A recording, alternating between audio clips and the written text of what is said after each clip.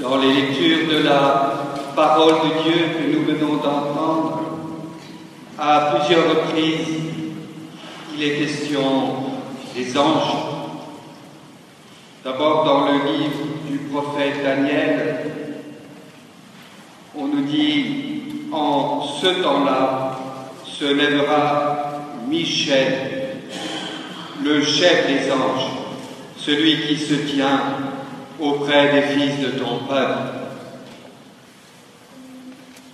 Et dans l'Évangile,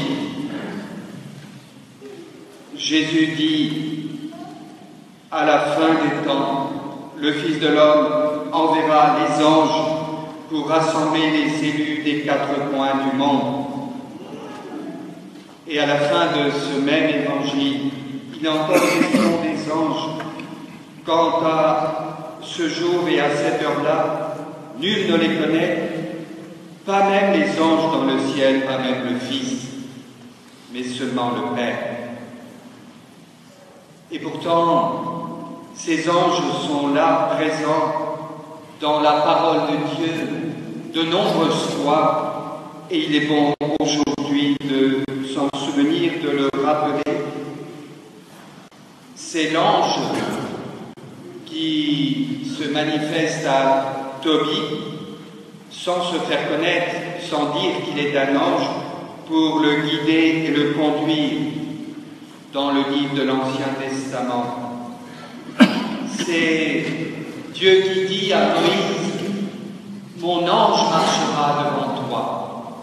Oui, les anges sont les envoyés de Dieu, ils ont cette mission de guider, de conduire les hommes ou de les avertir, de les informer. Pensons dans le Nouveau Testament à l'ange Gabriel qui vient à Nazareth au jour de l'Annonciation, avertir Marie qu'elle va être enceinte du Messie. Les anges, ils sont nombreux, et si on en parle souvent dans les évangiles, dans l'Ancien Testament, sont toujours présents aujourd'hui. J'en ai pas l'expérience, je ne les ai pas vus, mais je crois dans la foi, parce qu'on me l'a dit, parce que l'Église me l'a dit, que comme chacun de nous, j'ai un ange gardien, un ange qui est là, proche, qui remplit cette mission de se manifester par des messages que je n'entends pas avec mes oreilles, mais qui me guident et qui me conduisent dans ma vie de tous les jours. Et il se trouve que dimanche dernier, j'étais à Toulon et je devais me rendre dans une église où je n'étais jamais allé et que je ne connaissais pas.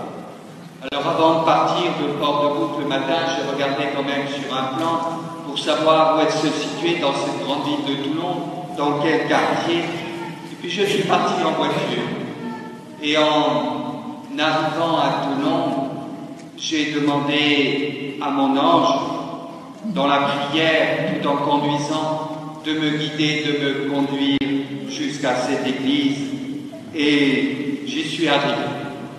Oui, les anges sont là dans nos vies et certains d'entre vous les prient et pensent à eux, qu'ils continuent, qu'ils continuent, mais en même temps, je voudrais dire que quand on rencontre des non-croyants ou des personnes auprès de qui on doit témoigner, c'est certainement pas en parlant des anges qu'il faut commencer de le faire.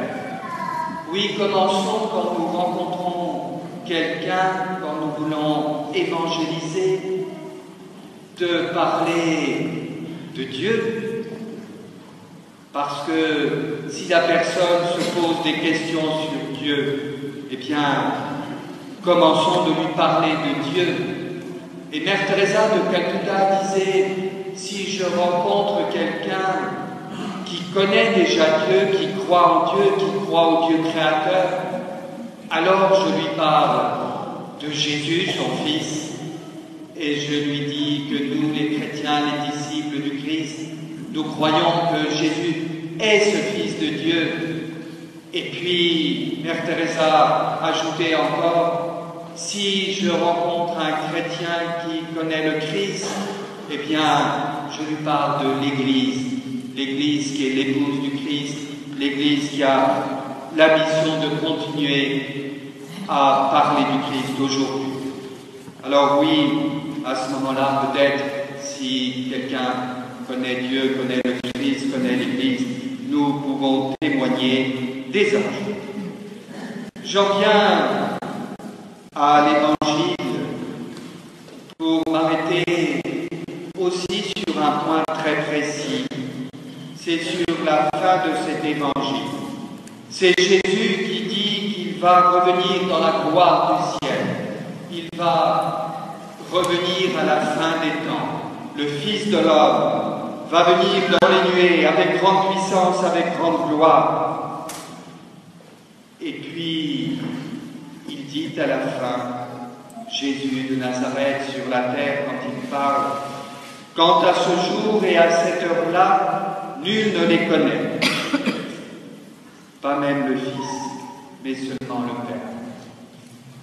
Jésus lui-même, Dieu parmi les hommes, dit qu'il ne connaît pas, quand il est sur la terre, le moment de son retour dans la gloire. Et pourtant, aujourd'hui, je rencontre souvent des gens, j'entends des gens qui me disent sur Internet, eux ils sont sûrs, ils savent l'heure, c'est demain, c'est cette nuit, c'est l'année prochaine. Vous savez qu'en l'an 2000, par exemple, beaucoup de gens sont partis à Jérusalem étant persuadés que c'était le moment, l'heure du retour du Christ à la fin du monde et que la fin du monde allait venir. Eh bien, personne de tous ces gens qui prétendent connaître l'heure n'avait lu cette parole, ou du moins personne encore aujourd'hui ne la vivait, ne l'entendait ou ne voulait l'entendre. Personne ne connaît l'heure. C'est bien dit, c'est le Christ qui le dit. Alors pourquoi prétendre connaître l'heure du retour à la fin des temps, de son retour dans la gloire? Par contre, soyons prêts. Soyons prêts à chaque instant de notre vie à vivre ce retour du Christ. Soyons prêts déjà parce que nous ne connaissons pas non plus l'heure de notre mort, et c'est vraiment pour chacun de nous l'heure de la rencontre du Christ. Alors soyons prêts, sans inquiétude, sans angoisse, seulement en croyant, en venant célébrer le dimanche à la messe, le Seigneur, en venant le prier. Soyons prêts à chaque instant de notre vie dans la prière. Et puis, le Seigneur, certes, il vient à notre rencontre quand nous passons dans notre vie ou quand nous passerons dans notre vie. Il viendra à notre rencontre, à la rencontre des hommes à la fin des temps. Mais surtout, il vient dans notre cœur quand nous le prions. Il vient à chaque messe, à chaque Eucharistie. Donc il est là, il est vivant, il est présent et il se manifeste ce matin à Martine, dans cette église. Jésus est là et il sera encore plus présent dans quelques instants sur l'autel quand nous aurons son corps et son sang. Jésus est là. Jésus vient et revient tous les jours. Prions-le, croyons en lui, ayons confiance et vivons, et vivons dans la prière. Amen.